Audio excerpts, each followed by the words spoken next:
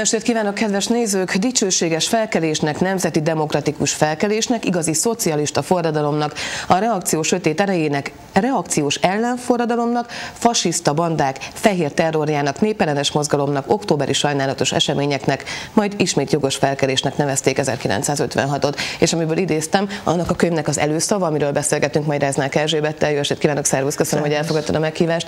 Egy újabb kötetés, egy újabb impozáns kötet, és ráadásul egy olyan korszakról, ami most a legaktuálisabb, október 23-a kapcsán nyilvánvalóan. Gyakorlatilag kezdjük ott, hogy ez nem egy úgy olvasmányos kiadvány, ahogy az ember megszokhatta volna, hogy az első oldaltól elindul, hanem egy gyűjtemény gyakorlatilag. Igen, van ennek egy hivatalos elnevezése, vagy talán mondhatjuk azt, hogy forrásközlés.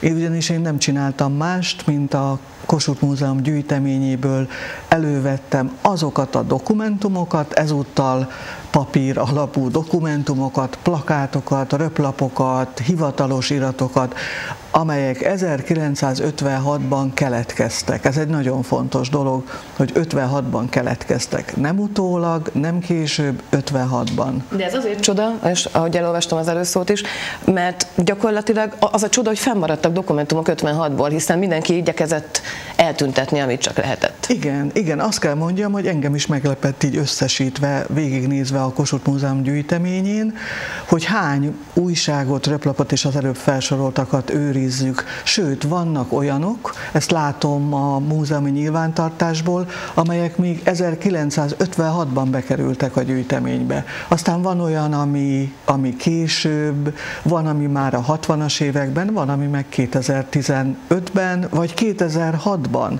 ezelőtt 10 évvel, a forradalom 50. évfordulóján. Kinek köszönhető, vagy kiknek köszönhető az, hogy megmaradtak ezek a dokumentumok, vagy hogyan élték túl a több tíz évet? Hát most elfogult leszek, és azt mondom a Kossuth Múzeum munkatársainak, föl is soroltam a nevüket, akik ezeket őrizgették.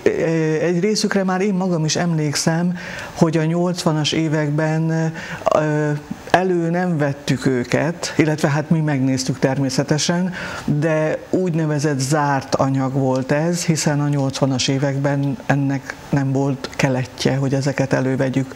És köszönhető azoknak a magánszemélyeknek is, akik például még a könyv összeállítása közben is hoztak be 56-os plakátot. Azért is fontosak, én azt gondolom, ezek a dokumentumok, mert ezt talán már beszélgettük is korábban, a személyes tapasztalatok ugye még szerencsére vannak, Igen. találkozunk még olyan emberekkel, akik személyesen átélték, de azért valljuk be, hogy ennyi év távlatából azok már egy kicsit néha torzulnak, kicsit néha változnak. Ezek pedig kristálytisztán bemutatják azt, hogy 56-ban mi történt.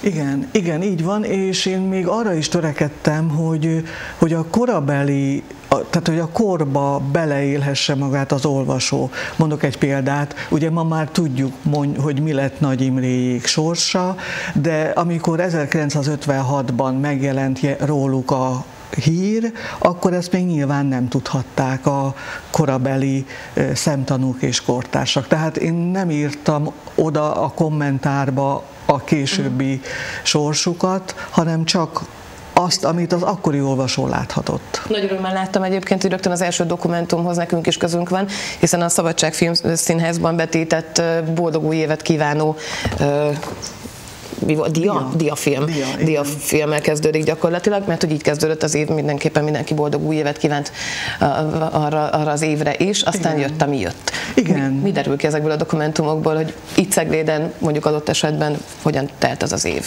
Igen, e, ez tudom, hogy egy közhely, de ugyanúgy, mint az előző. Azt nem mondom, hogy mint a következő, de ugyanúgy, mint az 50-es évek. Tehát semmi rendkívüli.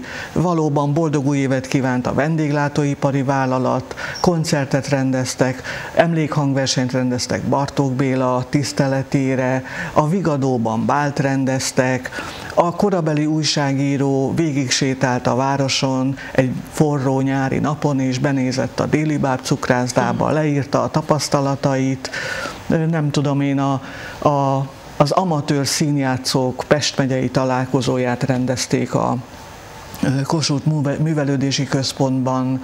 Egy szóval béke választást rendeztek, tanástagi választást, békésen teltek az események, azt kell mondjam. Azt beszélgettük most itt a beszélgetés előtt, hogy vannak dolgok, amik nem változnak soha. És gyakorlatilag erre ezek a dokumentumok nagyon jó bizonyítékok. Mondjuk éppen említettünk egy példát, vagy említettél egy példát az egyik iskoláról, ahol tornatermet hiányoltak, ami Igen. azóta sincsen. Igen. A, másik, a másik pedig, ami, ami igazából a stílusra jellemző, az, az például az egyik idézőben kedvencem, mely szerint 27-én reggel Bio, a Hámán Katóiskola pedagógus állítólag nem reggelizett, mert azt mondja, hány inget kapott. Kádár János 26-án este tartott beszédétől. Ízlések és pofonok különbözőek, és folytatódik Vincenti beszédével. Tehát gyakorlatilag a stílus és a, a, az újságírók, nem is tudom, témaválasztása az akkor sem volt más, mint mostanában szokott lenni. Igen, ráadásul nagyon fontos volt, ma is sokat beszélünk a hírközlésről, sőt, hát azt mondjuk, hogy egyik hatalmi ág, de 56-ban még inkább fölértékelődött az újságírók szerepe, hiszen akkor csak egy rádió volt például a Kossuth Rádió, ami aztán átneveztek Szabad Kossuth Rádióvá. És ugye ez az az időszak, amikor az emberek azt mondták bármilyen eseményről, hogy bemondta a rádió, akkor az hitelesnek számított. Megírta az újság. Tehát nagyon fontos volt a, a hírek szempontjából, hogy mit ír a sajtó. Az az egyetlen, bocsáss meg, egyébként az az egy sajtó, egy újság, ami megyénként megjelent például. De a történelmi tényeket és a dokumentumokat elemezve és ismerve, nyilván te ismered őket nagyon részletesen, hiteles volt az akkori sajtó például? Hát vannak köztük, amiket én borzasztó bigfa nyelven megírt vezércikkeknek neveztem el, de azt kell mondjam, tehát volt egy ilyen hivatalos vonal, ahogy ezt akkoriban nevezték, abban nyilván azt írták le, amit a párt utasítására írni kellett, de ahogy közeledünk a forradalomhoz, vagy egyáltalán az 50-es években is, valahogy az emberek nagyon tudták, hogy hogy kell a sorok között olvasni, és az újságírók nagyon tudták, hogy hogy kell a sorok között írni. Bármilyen furcsa is, van például egy olyan újságcikk, ami arról szól, hogy valamelyik TS-be szovjet vendégek látogatnak el, akik természetesen lelkesek, kedvesek, elmondják a tapasztalataikat, ezt megírja az újságíró, megnézik a TS-t, aztán kiderül az egyik Szovjetunióból érkezett vendégről, hogy magyar hogy úgy került a Szovjetunióba, hogy fogságba esett az első világháborúban, és ott megnősült. És akkor ő elmondja a magyar vendéglátóknak, így a sorok között, hogy hát nagyon szép a TS, nagyon fontos a kollektivizálás, de ő náluk azért volt egy 20. kongresszus. Ez az a 20. kongresszus, ugye, ahol Stálint elítélték először a szovjetek. Tehát ha úgy tetszik, egy ilyen hírből értesülhettek arról a, az emberek, hogy mi történt a Szovjetunióban is. És értesülhettek mindenről október 23-a után is nyilvánvalóan, csak egy kicsit másképp most azért lapozgattam, miközben hallgattalak, kerestem, hogy 1956. november 4-éhez kapcsolódóan milyen dokumentum van, és a katolikus hetilap egy cikke szerepel itt a gyűjteményben. Igen mi történt a lapok tekintetében, mi történt november 4-e után, mit láttál ezekből hát a dokumentumokból? megrázó, és, és nem tudok jobb szót erre, mint hogy dráma ami történt november 4-én, hiszen minden remény megvolt arra, hogy konszolidálódik az élet. Még el is hitték az emberek, ezt, ezt kell mondjam, bár borzasztó pusztulást jelentett például Budapest számára október 23-a, de az emberek bizakodtak, új egyesületek alakultak, pártok alakultak, választásra készültek, optimista volt a hangulat, amikor aztán a szovjet invázió mindent megváltoztatott.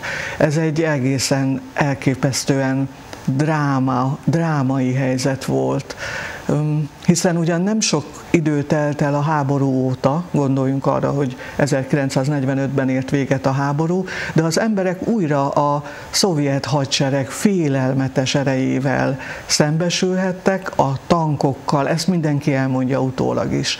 Elmondják azt is a kommentátorok, hogy hogy nem mérhető ez máshoz, mint a második világháborúhoz.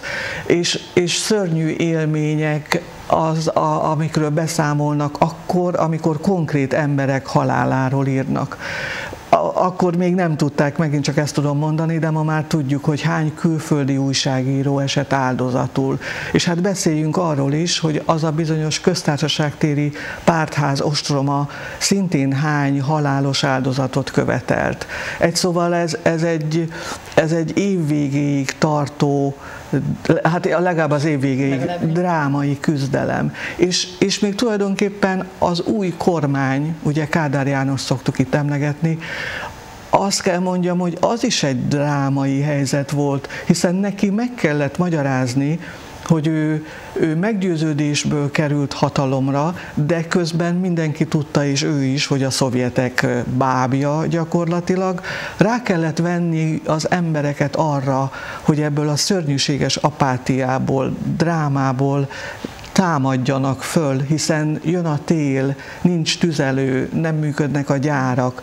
De hát ezeket az embereket győzte le Kádár János és, és csapata, ha úgy tetszik. És most őket, őket kellett arról meggyőzni, hogy támogassák az új rendszert mély, mélyen szántó, mélyreható tragédiák voltak ezek. Ez a bizonyos feltámadás az december 31-ével még nem történt meg, később, későbbig tartott, viszont ez a kötet erről az esztendőről szól.